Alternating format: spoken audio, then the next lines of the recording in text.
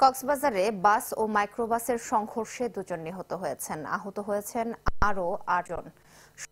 সোমবার সকাল এগারোটার দিকে কক্সবাজার ইতাই এলাকায় এই দুর্ঘটনা ঘটে।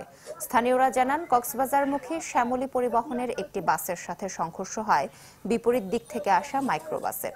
এতে ঘটনাস্থলেই মাইক্রোবাস যাত্রী দুই নারী নিহত হন। আহত আট জনকে উদ্ধার করে কক্সবাজার সদর হাসপাতালে নেওয়া হয়। দুর্ঘটনা বলিত গাড়িগুলো জব্দ করা হলেও বাস চালককে আটক করা যায়নি।